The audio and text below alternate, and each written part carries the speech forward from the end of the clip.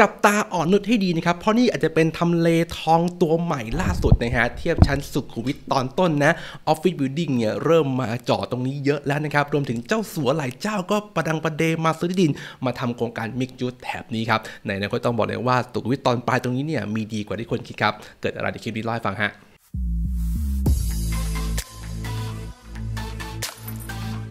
อยากมั่งคั่งแต่ก็ไม่ชอบความเสี่ยง อยู่ต่างจังหวัดนะครับไม่รู้ที่จะสร้างเงินทำเงินในต่างจังหวัด ลงทุนอะไรได้บ้างคอร์สนี้เนี่ยบอกคุณครับมั่งคั่งด้วยสังหาโดยใช้ระบบการเงินฉบับคนที่ไม่ชอบเสี่ยงนะฮะนี่คือสำนักที่ดีที่สุดของผมนะครับการันตีด้วยผู้เรียนเนี่ยนับพันคนเลยทีเดียวนะและเป็นคอร์สตัวเต็มที่คุณเรียนจบแล้วเนี่ยสามารถจะลงทุนได้ทันทีนะครับการันตีความพึงพอใจนะครับถ้าเรียนแล้วไม่พอใจ สามารถคืนเงินได้เต็มจำนวนแบบร้อยเปอร์เซ็นต์เลยครับสิบเพื่อนคนนะครับผมคิมมาผลนักทุนในสังหาริมทรัพย์แล้วก็เจ้าของหนังสือที่ชื่อว่าความลับสังหาที่คนรวยไม่เคยบอกคุณนะครับคุณอยู่ช่อง property expert ไลฟ์ที่มาพูดคุยกันถึงเรื่องอสังหาริมทรัพย์ถ้าเรารักอสังหาเนี่ยเราคือเพื่อนกันครับ ในคลิปนี้ชวนคุยเรื่องของทำเลอ่อนนุชนะครับที่เป็นว่าที่ทำเลทองอนาคตเลยทีเดียวฮะหากพูดถึงอ่อนนุชเนี่ยหลายคนจะนึกถึงชุมชนเก่าแก่นะครับที่มีความหนาแน่นดั้งเดิมคนไทยเนี่ยอยู่กันเยอะอยู่แล้วนะ อยู่ในซอยนะครับแล้วก็ตรงแถบบิ๊กซีที่แบบมีคนจราจรมีรถมอเตอร์ไซค์กันหนาแน่นเลยทีเดียวฮะ ตอนที่ผมเริ่มต้นลงทุนเนี่ยครับสิกว่าปีที่แล้วเนี่ยอ่อนนุชเป็นปลาย BTS นะครับสายสีเขียวฮะกล่าวคือมันไกลแสนไกลครับแต่วันนี้เนี่ยอ่อนนุชเหมือนจะอยู่กลางเมืองมากยิ่งขึ้นแล้วนะครับเพราะว่าเมืองเนี่ยมันเติบโตขยายมาทางตะวันออกค่อนข้างเยอะครับถ้าพูดถึงชื่อชั้นจริงๆเนี่ยนะครับแนว BTS เนี่ยนะฮะอ่อนนุชเนี่ยจะเป็นโซนคนไทยนะจะไม่ได้ดูฟู่ฟ่าเหมือนกับสุขุมวิทตอนต้นนะครับ เช่นทางพร้อมพงหรือเถิบมาตรงทองหล่อเอกมัยอะไรแบบนี้คนต่างชาติค่อนข้างเยอะค่าเช่าค่อนข้างดีแหล่งไลฟ์สไตล์ค่อนข้างคึกคักกันนะครับในโซนของ BTS อ่อนนุชเนี่ยก็มีดีเหมือนกันนั่นคือตรงโลตัสนะครับถึงแม้จะไม่ได้คึกคักครึกครื้นเหมือนอยู่ในซอยตรงแถบบิ๊กซีนะ แต่ว่าก็มีอสังหาเปิดในโซนนี้เนี่ยค่อนข้างเยอะเหมือนกันครับ แต่ก็ไม่ได้คึกคักเท่ากับข้างในอย่างที่บอกฮะแต่ด้วยความที่นะครับล่าสุดในทางเครือ CP ได้ทำการซื้อโลตัสเข้าสู่พอร์ตนะครับและเกิดการ synergy มากมายเราเห็นอสังหาของเครือ CP เนี่ยนะครับมาปนเปื้อนกับโลตัสเนี่ยไม่มากก็น้อย อย่างเช่นตรงไอคอนสยาม ที่มีตึก ICS อยู่ตรงข้ามไอคอนแล้วก็มีโลตัส Privé เป็นโลตัสพรีเมียมเนี่ยอยู่ตรงข้ามกันด้วยนะฮะและตรงอ่อนนุชเองเนี่ยก็เช่นเดียวกันนะครับเพราะโลตัสตรงนี้เนี่ยโอ้โห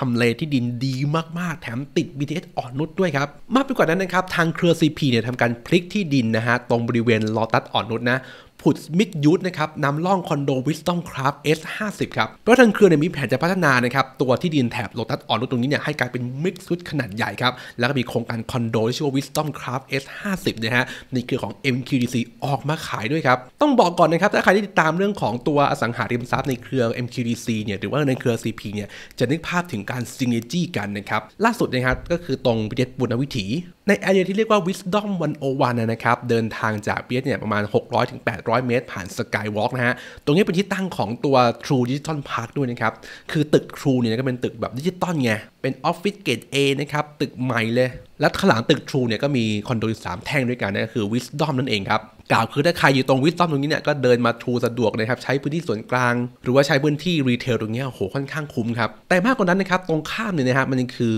ตัว Cloud 11 อีกด้วยนะครับ ก็เป็นโครงการใหม่เนี่ยฮะที่ธีมมันคือ hub แห่ง creator ของเอเชียเลยทีเดียวครับก็ต้องเรียกว่าเทรนด์ office building เกรด A แบบรักโลก มีความยั่งยืนเนี่ยมันเป็นเทรนด์อยู่แล้วนะครับ แล้วคนทำออฟฟิศบริษัทใหม่ๆเนี่ยก็ต้องอยากอยู่ในตึกพวกนี้เพราะประหยัดไฟมากกว่ารวมถึงภาพลักษณ์ดูดีกว่า อีกอย่างหนึงนะครับดัชนีพิเศษด้าน ESG ด้วยครับ นั่นก็หมายความว่านะครับในเครือของทาง CP เองเนี่ยนะครับโอ้โหมันมีการ synergy ของหลายโครงการเข้ามาทำให้อสังหาในเครือของเขา MQDC เนี่ยน่าซื้อมากขึ้นเยอะเลยครับ ก็เรียกว่าไม่ง่ายนะครับที่จะมีเครือที่แบบเงินถึงมาทำโปรเจกต์อสังหาให้เกิด synergy กันมากขนาดนี้ อสังหาเนี่ยหลายคนก็รู้อยู่แล้วนะครับว่ามันเป็นเหมือนแรงแม่เหล็กครับ มีแหล่งแม่เหล็กมีแหล่ง landmark อยู่อออกันใกล้เคียงกันเนี่ยมันยิ่งดึงดูดกันทำให้ทำเลนั้นเนี่ยยิ่งโดดเด่นขึ้นมาใหม่นะครับซึ่ง Cloud 11เอง หรือว่าทาง True Digital Park เองก็ตามครับเมื่อก่อนปุณณวิถีเนี่ยนะฮะเป็นเหมือนโซนคนไทยนะที่แบบคนไทยอยู่กันเยอะอะไรแบบเนี้ยแต่พอเป็นออฟฟิศเกรด A นะครับเชิงดิจิตอลเชิง creator เนี่ยนะครับทำให้ชาวต่างชาติเนี่ยหรือว่าพนักงานที่เป็นดิจิตอลเนี่ยนะครับอยูโซนนี้มากยิ่งขึ้นนะคือเงินเดือนเขาเนี่ยค่อนข้างสูงนะครับทำให้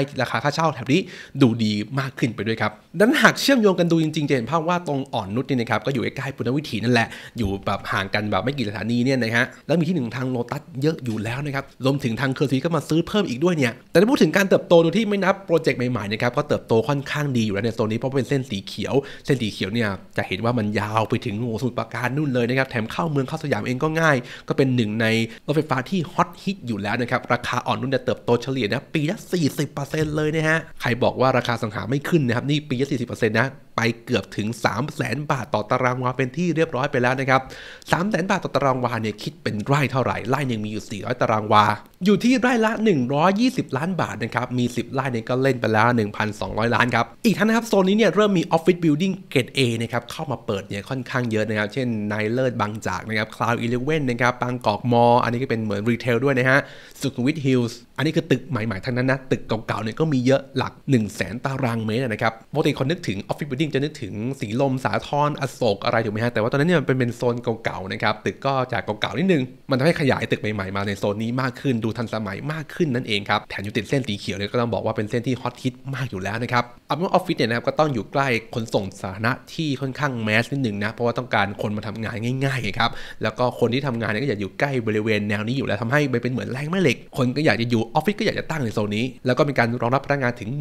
16,000 คนเลยนะฮะและมากไปกว่านั้นนะครับ นอกจากที่ดินที่โลตัสอยู่แล้วนะสามบริษัทในกลุ่มของเครือ CP เนี่ยควักเงินกว่า 500 ล้านบาทนะครับ ซื้อที่ดินติดซอยสุขุมวิท 50 นะ จับตาดีครับจะเป็นโครงการใหม่เกิดขึ้นตรงนี้ด้วยนะครับ หากดูจริงๆเนี่ยก็ค่อนข้างติดกับตัวโลตัสเลยนะฮะ เดินจาก BTS เนี่ยไม่ได้ไกลเลยครับ นอกจากนั้นจะมีออฟฟิศเกรด A นะครับ ชื่อว่า Project O นะ อยู่ถนนติด สุขุมวิทเลยนะครับแล้วก็อยู่หน้าตรง BTS อ่อนนุชเลยครับก็ตามภาพเลยนะครับโปรเจกต์ O เนี่ยนะฮะอยู่ตรงนี้ครับแล้วก็ข้างหลังเนี่ยนะครับก็เป็นตัวโครงการ Whizdom Craftz S50 ครับก็เป็นของเครือ MQDC นั่นเองแปลว่าถ้าใครอยู่ตรง Whizdom ตรงนี้นะครับเดินมาโปรเจกต์ O ได้ง่ายเลยนะครับแล้วก็จุดติดกับทางโลตัสด้วยนะหน้าตาตึกก็จะประมาณนี้นะครับค่อนข้างสวยเลยครับดูทันสมัยดูเฟี้ยวเลยนะด้านส่วนนี้ก็จะเป็น Mixed Use นะครับ มีทั้ง Office Building นะครับ มี Retail ก็คือโลตัสนะ แล้วหลังๆ ต้องบอกเลยว่าโลตัสเนี่ยมีการ rebrand ทำตัวแบบ Luxury มากขึ้น ตัวหรูหรามากขึ้น แบบเป็น mall มากขึ้น ซึ่งโซนนี้ผมคิดว่าน่าจะเปลี่ยนแปลงเช่นเดียวกันนะครับ แล้วรวมถึงมีตัวคอนโดด้วย ถ้าหากมองจริงๆนี่นะครับ ก็ก่อนหน้านี้ก็เป็น Wisdom วันวันตรงแถบปุณณวิถีนะ ก็คือโครงการนี้นะครับ ก็จะมี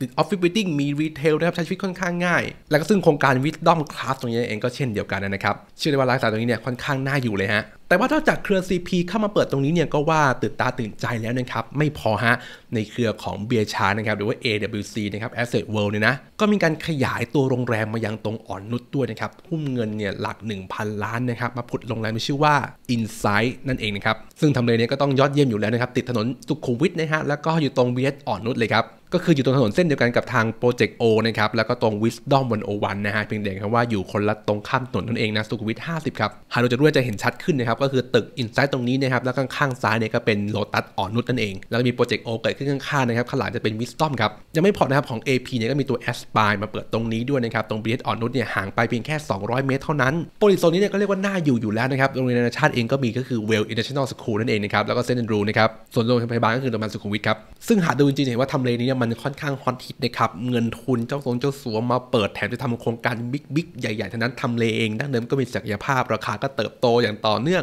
อีกทั้งนะครับในเส้นนี้เนี่ยในสุขุมวิทตอนใต้เนี่ยมันก็มีโครงข่ายของเครือ CP เยอะเหมือนกันนะครับเช่นWhizdom 101ตรงปุณณวิถีนี่คือตัวของอ่อนนุชนะครับและต่อไปเนี่ยก็คือตรงบางนาคือพวก Forestias แล้วก็มีบางกอกมอลล์ที่เป็นของเครือเดอะมอลล์ที่ใหญ่สุดในระดับเอเชียด้วยอีกนะครับ และนี่คือตัว New CBD นั่นเองนะดังนั้นเนี่ยพอเปรียบเทียบกับทางอโศกหรือว่าสาทรแล้วนะครับตึกในโซนนี้เนี่ยเป็นโซน office building เกรด A นะเราต้องบอกว่าคนเนี่ยก็ต้องวิ่งหานะครับตัวออฟฟิศเกรด A อยู่แล้วเพราะว่าจะได้สิทธิพิเศษต่างๆนั้นเรื่อง ESG รักโลกภาพลักษณ์เองก็ดีนะครับแถมมี f a c i l i t y ที่เอื้อต่อการทำงานอีกด้วยอย่างเช่นผมชอบตัว Cloud 11เนี่ยเป็น Creator Hub นะครับก็จะมีส่วนกลางส่วนกลางที่เหมาะกับการสร้างสรรค์เหมาะกับการทำงานร่วมกันของฝั่ง Creator ครับกล่าวคือถ้าคุณเป็น Creator นักสร้างสรรค์เนี่ยไปอยู่ตึกเก่าๆบางครั้งหัวมันไม่แล่นเงี้ยอยู่ตรงนี้มันเจอเพื่อนมันเจอกันซีนจี้กันมันทำให้คุณทำงานได้ดีขึ้นกว่าเดิมนั่นเองครับดังนั้นหากมองเรื่องของแนรถไฟฟ้าสายสีเขียวจริงๆเห็นภาพว่าโอ้โหโปรเจกต์ไม่กับโปรเจกต์เนี่ยมัน แคบขึ้นแทบทุกสถานีนะเป็นแบบมิกซ์ดูขนาดใหญ่นะครับแล้วสุดท้ายเนี่ยตรงบานาตาก็คือ Forestia นะฮะที่เป็นพื้นที่กว่า 398 ไร่เนี่ยเป็นป่ากลางเมืองนะครับข้างหน้าตัวโครงการนี่นะเป็นโรงพยาบาลนะครับแล้วก็มีห้างมี retail ด้วยทำให้คนเนี่ยที่ออกมาอยู่ในป่าเนี่ยรู้สึกว่าเฮ้ยเราไม่ได้อยู่ไกลเมืองเลยนะจะมีความอำนวยความสะดวกแบบครบครันนะครับจะป่วยก็ไม่ต้องกลัวมีโรงพยาบาลอยู่ใกล้ๆแถมขนาดนี้ก็มีหลายโปรเจกต์มากๆนะครับซึ่งบ้านราคา 250 ล้านเนี่ยก็อยู่ในนี้อีกด้วยแล้วขายหมดเกลี้ยงแล้วนะครับก็เห็นภาพในชั้นนะครับว่าตั้งแต่ทางเครือ CP เนี่ยซื้อโลตัสเข้ามาเนี่ยเกิดการ synergy อะไรใหม่ๆค่อนข้างเยอะนะครับอย่างเช่นในอดีตเนี่ยก็ได้เห็นภาพของตรงไอคอนสยามเนี่ยก็มีตึกขึ้นมาตรงข้ามนะซึ่งตึก ICS นะครับและตึกตึกนี้เนี่ยก็มี Lotus's Privé เข้ามาเปิดอีกด้วยเป็นโลตัสพรีเมียมนั่นเองนะฮะอันนี้เนี่ยอยู่สถานีเดียวกับทางไอคอนสยามเลยครับเรียกว่าเดินไปหากันได้เลยครับนอกจากราคาที่จะเติบโตประมาณ 40%ต่อปีแล้วนะครับในฝั่งของตัวคอนโดเองเนี่ยก็เติบโตไม่แพ้กันครับซึ่งสุขุมวิทตอนต้นหน่อยนะครับทองหล่อเอกมัยอยู่ที่ประมาณ 240,000 บาทต่อตารางเมตรนะครับ capital gain ต่อปีเนี่ยเติบโตประมาณ4.1ถึง4.5%ครับพระโขนงกับอ่อนนุชเนี่ยนะครับเรียกว่าไม่ได้ห่างกันมากอยู่ที่ประมาณ 140,000 บาทต่อตารางเมตรนะครับแต่อ่อนนุชจะมี capital gain ที่สูงกว่าอยู่ที่ 5.8%ครับและอย่างที่บอกไปนะครับว่าพอโซน office building เนี่ยเกิดขึ้นในโซนนี้ช่วงนี้เนี่ยนะครับก็ทำให้ความต้องการในการอยู่อาศัยมันก็มีมากขึ้นครับต้องยอมรับเลยว่าคอนโดเนี่ยนะครับมันเป็นการตอบโจทย์คนทำงานนะครับทั้งจะปล่อยเช่าก็ได้ ทั้งซื้ออยู่เพื่อทำงานในบริเวณรถไฟฟ้าก็ได้ supply คอนโดในแถบนี้เนี่ยโตถึง 9,300 ยูนิตเลยนะครับแต่จำได้ไหมครับว่า office building ตรงนี้เนี่ยก็มีคนทำงานกว่า 16,000คนนะครับไม่รวมที่อื่นเข้ามาทำงานในเมืองอีกนะ ส่วนตัวผมแล้วเนี่ยก็ต้องบอกว่าโซนสุขุมวิทตอนปลายนี่นะครับตรงอ่อนนุชอุดมสุขตรงนี้ก็เป็นโซนที่น่าอยู่อยู่แล้วเรียกว่าปล่อยเช่าดี First Jobber โอเค ราคาขึ้นเพราะที่ทางการเติบโตมันค่อนข้างไปทางตะวันออกอยู่แล้วนะครับแต่ยิ่งมีเมกะโปรเจกต์ของเครือ CP มาเปิดทีๆแบบนี้เนี่ยทำให้โซนนี้เนี่ยยิ่งน่าสนใจมากขึ้นเรื่อยๆครับ แล้วเพื่อนๆที่เก่งกันบ้างก็คอมเมนต์มาบอกกันหน่อยนะครับ วันนี้ขอบคุณทุกคนที่นั่งฟังจนจบ ถ้าคุณชอบคลิปนี้อย่าลืมกดไลค์กดติดตามช่อง Property Expert Live นะครับ และขอเวลา 1 วินาทีนะ กดติดตามช่องนี้ถึง 1 ล้าน sub ไปเลยครับสำหรับใครที่จะฟังความรู้เชิงลึกนะครับ เป็น premium content นะครับ หรือว่าจะลงทุนในอสังหาริมทรัพย์เนี่ยนะครับ ผมมีสัมมนาที่ชื่อว่ามั่งคั่งด้วยอสังหาตัวใช้ระบบการเงินสำหรับคนที่ไม่ชอบเสี่ยงครับ ถ้าคุณมีเครดิตที่ดีอยู่แล้วนะครับ อยากจะลงทุนอสังหา โดยกู้เงินนะครับ ได้รับปันผล cash flow เป็นบวก รวมถึงนะครับราคาเติบโตอย่างต่อเนื่องถือได้นานๆด้วยเนี่ย ต้องลงคอร์สนี้เลยครับนี่ขอบคุณทุกคนนะสุดท้ายถือเล่นกว่าก็เลยก่อนเจอคลิปหน้าครับสวัสดีครับ อยากมั่งคั่งแต่ก็ไม่ชอบความเสี่ยงอยู่ต่างจังหวัดนะครับไม่รู้ที่จะสร้างเงินทำเงินในต่างจังหวัด ลงทุนอะไรได้บ้าง คอร์สนี้เนี่ยบอกกับคุณครับส่วนตัวผมนะครับมีความถนัดในด้านของการซื้อได้ราคาถูกครับเพิ่มมูลค่า ข้อได้เหมาะคน 4 ประเภทด้วยกันนะครับคือคนแรกเนี่ยคือคนที่มีเครดิตที่ดีอยู่แล้วทำงานประจำมีการสร้างเครดิตสร้างเสร็จอย่างดี แต่ก็ไม่รู้จะดึงพลังตรงเนี้ยเข้ามาได้อย่างไร และข้อสองนะครับคนที่มีธุรกิจมีรายได้ที่ดีอยู่แล้วเนี่ยแต่บางครั้งคุณสร้างเครดิตไม่เป็นสร้างเสร็จไม่เป็นเนี่ยทำให้คุณกู้ได้น้อยกว่าที่ควรจะเป็นนะครับสามนะครับคือคนที่มีเงินอยู่แล้วเนี่ยแต่ต้องการหาการลงทุนที่ทำให้เราเนี่ยนอนหลับได้นะครับหรือเป็นคนที่มีไอเดียธุรกิจในการที่จะ on top ลงไปในอสังหาริมทรัพย์เพื่อเพิ่มมูลค่าสิ่งสิ่งนั้นนะฮะและเป็นคอร์สตัวเต็มที่คุณเรียนจบแล้วเนี่ยสามารถจะลงทุนได้ทันทีนะครับและสุดท้ายนี่ครับคอร์สนี้เนี่ยการันตีความพึงพอใจนะครับถ้าเรียนแล้วไม่พอใจไม่ได้ประโยชน์อะไรเนี่ยสามารถคืนเงินได้เต็มจำนวนแบบร้อยเปอร์เซ็นต์เลยครับผมตั้งใจทำแล้วก็ออกแบบมากๆนะครับ แล้วมั่นใจได้เลยว่าจะตอบโจทย์เพื่อนๆทุกคนที่ต้องการลงทุนในสังหาริมทรัพย์แบบไม่ชอบความเสี่ยงนะฮะ ถ้าใครสนใจเนี่ยสามารถที่จะแอดไลน์มาได้ที่ a d kim property live นะครับหวังจะเจอทุกคนในสัมมนานะครับ ขอบคุณครับ